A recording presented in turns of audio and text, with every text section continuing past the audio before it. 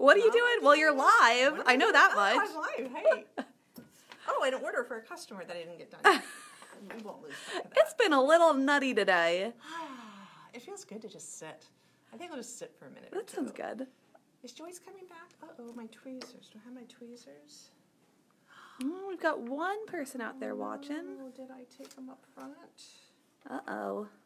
I must have. We're them. missing our most favorite The tweezers. new, the new favorite. Oh, Oh, I could have said. no, they're not. Oh, What did I do with them? Did I walk away with them? Kathy's looking for her Fusaweezers. My Fusaweezers. Her favorite, favorite Fusaweezers. ever. Um, What did I do with them? you know, Joyce probably has them in a in a holster somewhere. Hey Nadine. Hey Julie. Okay, you be the greeter. I probably took them up front with me. What did I do? Hi them? Leslie. I found 'em. oh, there they are. The most important piece. This is my new favorite tool. I just learned about it yesterday, and now it's my favorite. Oh, we got Lib D out there. Cindy Espenscheid. Hello. Oh, good. Janet Bell. Good, good. Oh, we got 16 people. You better do something entertaining. Oh, you guys are prompt. They are. Very prompt. I like it. We're very excited when it's three o'clock because that means we get to stop answering the phone and we get to sit down and chat with you guys. It's awesome. Hey, Kathy Daly. Oh, hey, Kathy. I love that. Katie's my romp- my romper room visibility. Yeah. Janet says, now for happy time. Hey, guys, now for happy time. That's right. That's what we do. What are we doing today? So today we were going to talk about. Oh, hey, Joan. Hey, Margie. Oh, I just, I love them all. I Sorry. too. I know it's so fun. It's so so fun. I'm looking for all. Oh, I do have all kinds of things. Do you have everything you need back here? I have so many things back here. We're just, she's just surrounded by, by Surrounded stuff. things. Things in various states of. Okay, can you tell that Joyce did not prep me today? Uh oh. She's flying, flying solo. I'm on my own, and it's it's a lot easier when she just hands me stuff. But um, okay, so today we were going to talk about different ways to make bias binding. Um, and so I wanted to show you that I actually we went back to our original um, mask, which uh, Joyce did on the first day, where we put the pleats in. And then instead of sewing elastic or serging the edge, I actually attached with my serger, um, I made and attached a bias binding. So I started the bias binding and then I inserted the um, edge of my mask and then I continued on when it ran out and now I've got my two ties for this side. So I was going to show you how to do it for this side. I figured you did not need me to do another pleated mask for you, but these are, this is a really um, popular way of doing it. Um, one thing I did do to this one, which I really liked her idea from yesterday, was I did put a little sleeve. Several people have mentioned this. I put a sleeve on the top of it so that the inside Our um, nose cozy. Our nose cozy that Joyce Mattis won the prize for coming up with the most clever name for this wire that goes across the bridge of our nose, and she named it our nose cozy, which I thought was a very cute name. So the nose cozy now has its own little pocket, and it just slides in, and then when you go to wash it, you can slide it back out. The dimensions of this that Joyce used yesterday was two inches by six inches, and I did the same dimensions. So I um, just folded it in on each side, and then I just top stitched. Can you guys see how I just top stitched it on? Nothing too fancy. I leave. I left my ends um, open, so then I can just slide it, and then there's my pocket. Cool. So yeah, I thought that was a really nice ad because I think the I mean the recommendation is you really want to wash these every time that you use them. Um, and so if you always have that wire in there, that's going to get yucky really fast. So I thought that was a great add-on. I tried to be clever and uh, do an elastic version with the bias. And a couple of things went awry for me. The biggest thing that went awry was that I put the elastic in the center because remember, I don't do these without Joyce prepping me. And I was supposed to put the elastic at the top and the bottom. So when you put it on, you have like these wings that kind of it doesn't, it doesn't pull really tight. Um, and also, I don't think it's as, it took a lot longer to put the bias on the side, and then I was going to just show you how you could take the edge and just fold it back and then top stitch it down. Um, I don't think it's worth that trouble. I think her way of serging the side and then just folding it back with the elastic worked a lot better. So I thought I was going to be clever and give you one more new way of doing it, and I'll give you one more way not to do it. Don't try this. It was not that, didn't turn out that well. Okay. All right. So the very first thing we need to do when we are making bias, um, bias binding is you need to start with bias strips. And I have a really easy way that I like to do it. So that was the first thing I was going to do is just show you how I organize my fabric um, to make my bias strips. So I would start with at least a fat quarter size. So here is, here's the size of a fat quarter, right here. Oh, this is what they can do with all those fat quarters. Yes, you can make bias strips, and you can get a lot of bias strips out of one fat quarter. So you take your fat quarter, and when you're doing bias strips, you always I always want to start with a square. It's the easiest way to find my perfect 45.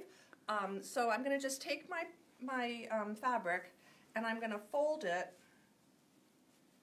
like this. You guys see that? So I'm going to just fold it, and then I'm going to cut off this surplus and I'm going to cut down this edge.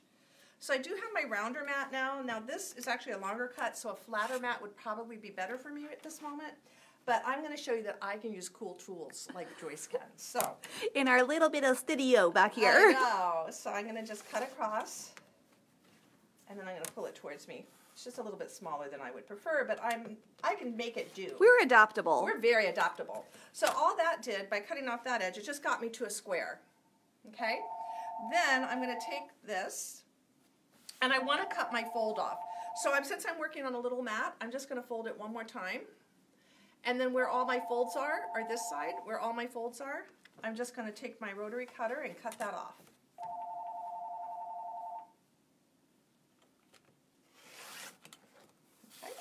And that's going to give me two triangles. So I can just this is our geometry lesson for the yeah, day. Yeah, I know. You have to have it, quilting is mathematical. There's just no way of getting around it. So yes, we have geometry today. So now, can you put on? Can you look down on it and see that there's two triangles? And here's where my bias edge is. It's that inside cut. So if I just take my top triangle and bring it straight down, I'm going to go ahead and sew this together. It's going to give me even uh, strip lengths of my uh, bias strips. So it makes them longer for me. Instead of if I didn't do that, I'd have a long one, then I'd have a shorter one, and then a shorter one, and a shorter and shorter and shorter. By doing it this way, so I'm going to, again, I'm going to show you one more time. I have my square like this.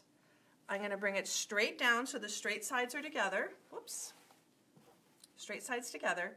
And then I'm going to flip it over to sew them together. And I'm going to end, with, end up with a parallelogram, another mathematical term. okay, so this is just going to use a straight stitch. Look at my sewing area. It, Uh-oh. it is not like this when Joyce is back here. She cleans me all up. She's up front finishing up a few customer sales. We need her back here. No, she's our other entertainment. She is. We like it when Joyce is part of our party. Here's the mask we made on the first day.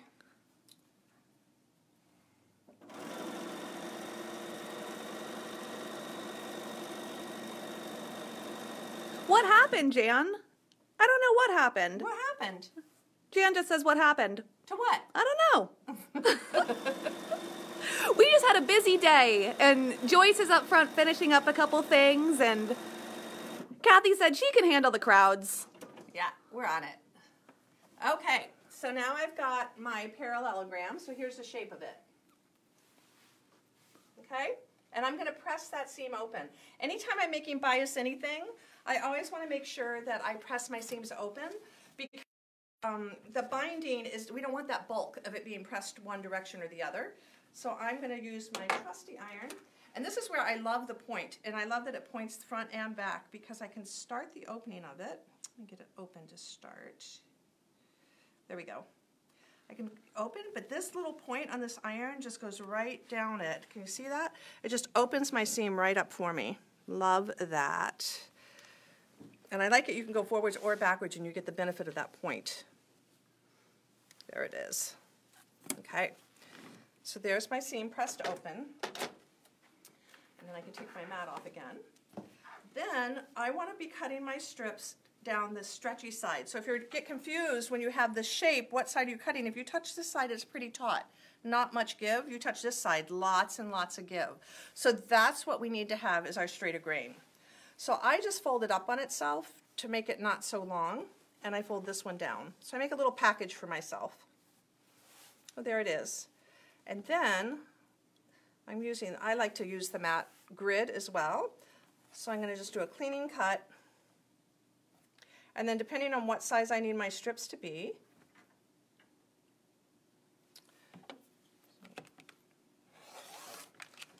then I would just use my ruler and I come over, let's say I want it to be a one and a half inch strip. So then I'm going to just cut a one and a half inch bias, okay? So I was going to show you, um, actually I'm going to show you on the serger first because that's the way um, that I did it this morning and then I'm going to show you a really tricky way to do it on the sewing machine. So Katie, I think you're going to have to come around here to be able to see the serger and let me just empty what's already loaded here. So. Hmm. I come over this side. Okay. Okay. Here's our baby lock serger. So we had to change what machine we were on because the Acclaim is only a four thread overlock. And that means that when you're overlocking, you're always along the edge of your fabric, and the two loopers, the lower looper and the upper looper, meet on the outside edge of the fabric to form your stitches. And then the needles stitch on top and hold the stitches in position. When we want to do things like a bias binder, or a hemming or something like that, we have to move over to what's called the cover hem side. The cover hem, there's a chain looper that lives underneath the fabric, and so it doesn't have to be along the edge, and you're not using a knife when you use a chain looper. So when you're doing bias binding, we don't want our edge cut off because we want to have that folded edge of our fabric forming the, the clean edge instead of the stitches forming the clean edge. That makes sense. So when we finished this guy, we used the overlocker to do a nice finished edge, and the thread is what formed the edge. What we're doing now is we want the fabric to form the edge, and we want the stitching to be up in the middle. And so then the, the chain looper lives on the bottom of the stitching and does its, for its purpose underneath. Okay, so it looks like twin needle on top, and it looks like a um, looks like a chain stitch on the bottom or a zigzag. So it's where it's all finished. All right. Joyce, come join us. Welcome. I was trying to take care of some customers. That's what we said. You, we knew you were up there finishing sales. We gotta, we gotta finish your sales. There's a few more we haven't finished yet, so don't be alarmed. We will get to you. Okay, so here is my, um, here is my uh, strip that I added on. And the trickiest part about getting these set up is getting the position so that it's feeding into your machine properly. So I have my, I currently have my machine set up for two needles on the um, right-hand side. So it's a, it's called a right narrow cover hem. And a lot of cover hem machines um, have three different needle positions. So you can be on the left side, you can be wide, or you can be narrow. Narrow always involves the center needle, okay? So I set it up for a two thread, or a three thread um, narrow cover stitch. And that's what I'm going to be using to do that stitching for me. There are all kinds of attachments for these machines that give you really professional results. This one is a 30, 35 millimeter uh, double fold bias binder, which means it can create the binding and attach it at the same time. Super cool. Um, it also can just make the binding with no attachment as well. So on the instructions of the um, packaging, which I think I left up front, it tells you what size strip you need to cut for this size binder. And the strip size is actually going to fit exactly the size of this, um, let me get this in here, exactly the size of this channel that's feeding it in. So it's going to give you the dimensions. And there are there's different sizes of these. So um, it doesn't really, the, the bigger the number, obviously, the wider it is. This one makes about a 3 8 inch finished. So I think I started with one and a half inches. That's what you just cut. Well, I cut that for a different a different thing. Anyway, Oh. I think it was about one and a half. I could measure it. Let's see how wide I cut it because I can't remember to be honest. That was this morning. That was a long time ago. Time ago. If Joyce was my prep girl, she'd know what I cut. Actually, it was one and three eighths. That's right. I cut it one and three eighths inches. Of course. Okay. So where's my tweezer weezer thing? Here it is. Fuse a Weezers. Here it- Fuse weezers are super okay, pointy. so this is what's so cool about this. So we want these tools to do the work for us. We don't want to force the tool to do what we want it to do. So if you are if you allow the tool to do its job, it's going to feed your fabric where it needs to go. I did not do anything to this fabric other than cut it by a bias strip. You can also see here's my seam, and it's not going to care. It's just going to ignore, but I did press it open. So you can see it, all of my strips are going to end up being the exact same size because I put that seam in there when I took my two halves of my fat quarter. So we're going to uh, feed it into this area in here, and this slot is here for you, for you to be able to take something sharp and push it through.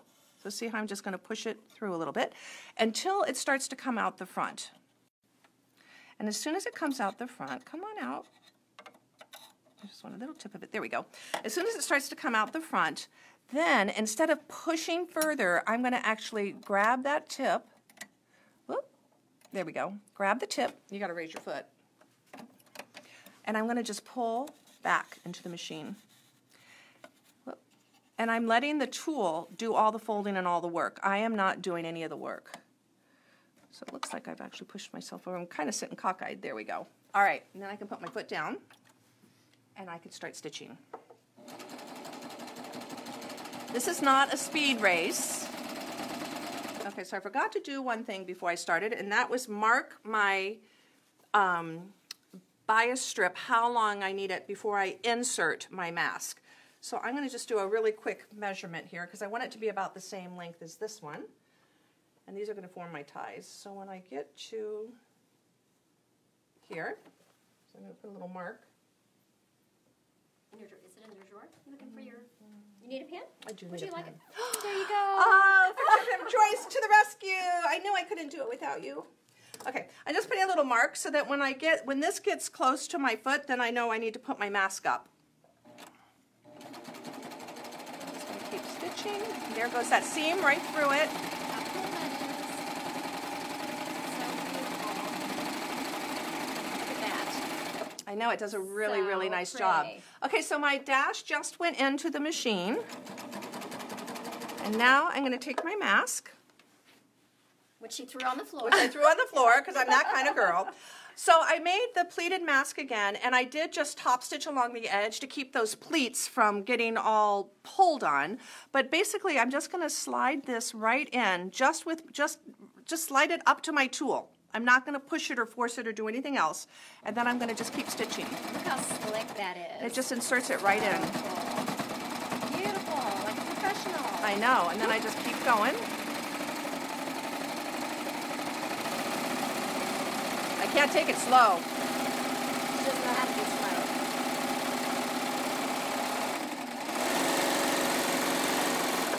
There we go. And look, Beautiful. I just Look made my whole strap. So Isn't that cool. awesome? So tailored. It's such a finish. beautiful finish. It does a great job, and then it does put the overlocking on the back side. Makes it really strong too. It is, and it's got a really nice give to it. It's got really nice because it's bias. Can you see the, all the, the nice stretch to it? Almost I like a didn't. knit, doesn't it it? is. It feels like it's a knit because of the bias. I did not do any prep of this fabric. I didn't Terial Magic it. I didn't do anything to make it stiff or No um, magic anything. involved. No. Yeah. The only thing that you really have to think about is when you go to put that in,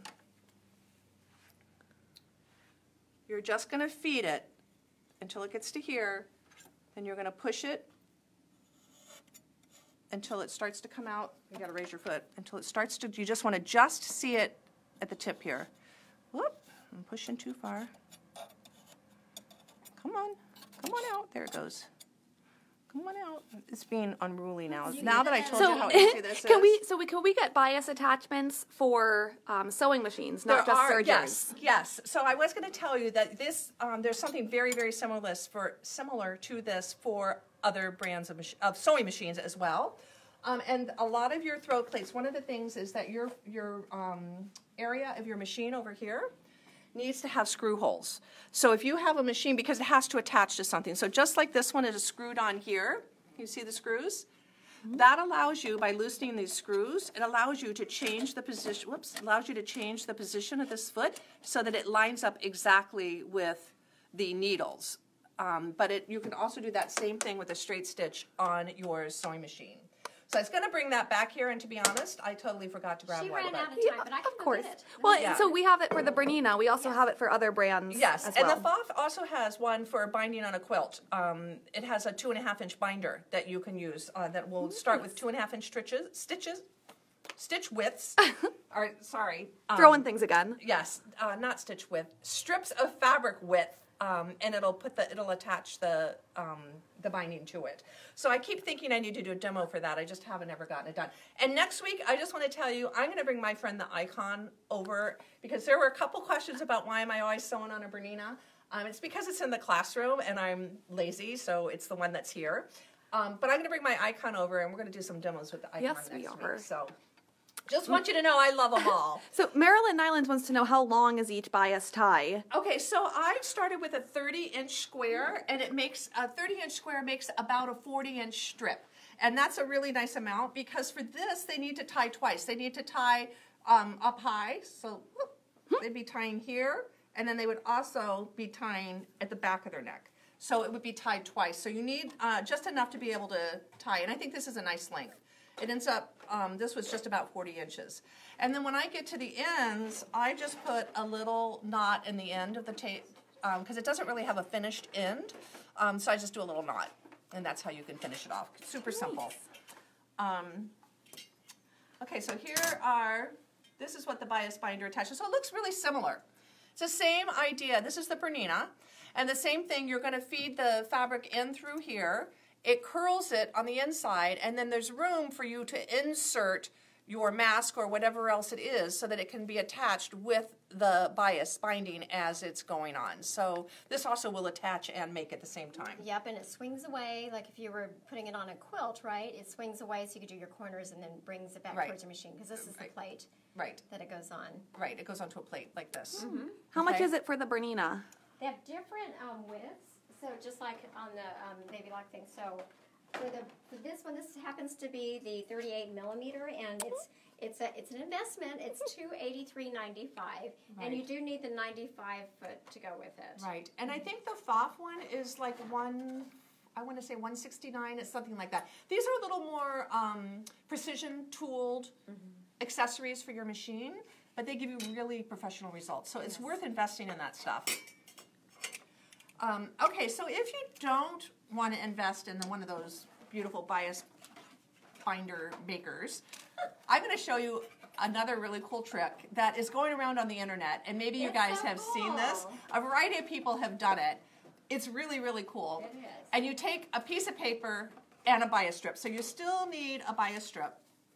And your piece of paper needs to be about the same size as your bias strip. So I'm going to just take this bias strip that I just cut my fat quarter, and I'm going to cut my paper about the same size as it. So here's my bias strip. And I'm just going to lay it on top of my paper because I don't remember how wide I cut it. I'm always mixing myself up around. And then I'm just hmm. going to cut my, it doesn't have to be precision, precision, but about like that. And then I'm going to do a really fancy folding job. I'm going to fold it to the middle, like this. I'm going to fold it to the middle. So my fabric is folding to the middle, like this. So there's my fabric folded to the middle. See the gap in the middle? And then I'm going to fold it in half, like this. Voila. And there is a piece of paper. What's cool about it is that it will actually slide. So I'm going to start sewing. It will actually slide down my fabric as I'm sewing. So I haven't really done much of this. Joyce, That's uh, how I did these. Um, Joyce made yeah. her skinny ones mm-hmm. doing it this way, mm-hmm. It which is pretty really fun. So I'm going to start this one, and it's helpful if you start stitching before you start pulling the, the paper back. Oh. Kathy Crispin says cardstock instead of paper works very well. Oh, cardstock instead of paper. All right. That's like a good plan. It's so cool. All right, and then I'm just going to slide it back as I go. My bias, I might have it a little too tight. There we go. The nice thing about this is that it keeps it closed and it keeps your edges It keeps it down. closed and together, and I'm just sliding back a little bit as I go. Isn't that cool? Mm-hmm. Is your stitch line small? So tiny. No? Oh. No. It could be because I'm pulling a tiny bit. Mm. I just thought this was so clever. It is. It was. It was awesome doing it. It's so way. it's so cool. I think this is like a whole. Ingenious. Oh, it is. Oh, I edge. I misbehaved. Uh oh. Uh oh. Uh oh. There's at least one video on YouTube where this looks really easy. Yeah, but I think this is still pretty good. I let myself unfold. Ah, you know, it's it's me. Remember, it's me. It's real life. Okay, well, you got the You idea. You got the idea. Let me I just sew loved on. it. Yeah, I loved it. Oh. There we go. It's still actually really really cool. That's that's Yeah. pretty awesome for a piece of paper. Yes. I mean, really. All right, we gave you a full 50 minutes of entertainment yesterday, so we decided today yes. Did you tell them about, the Anita Goodesigns being in? Oh yes, all access. Um, Anita Goodesign was holding our orders, but we did call them and say that we are in the building every day. So all access is here, ready for you guys to pick up. That's a fun little treat to. Um, and I know a lot of you are stitching at home. Yes. Lots of great projects in it this. Oh, it's so this, cute. There's uh, this month. little hippo with a scuba diving mask on it. I'm in love with him. Can you see him? And this Oh little my porcupine guy. So yeah, and unicorns, and it's adorable. That's so right. yep. That's right. All right. So tomorrow, uh, Joyce is going to come back with um, AccuQuilt Basics. And so, for those of you that are wanting to know more, it'll be a great opportunity. And then, for those of you who already know stuff, join in because Joyce always has a new tip for you. You never Guaranteed. know. You Yep. never know what you'll learn. So, anyway, we love seeing you guys. With you, thank you for showing up. Thanks See for you. coming and getting stuff from us, and we'll Yeah. see you soon.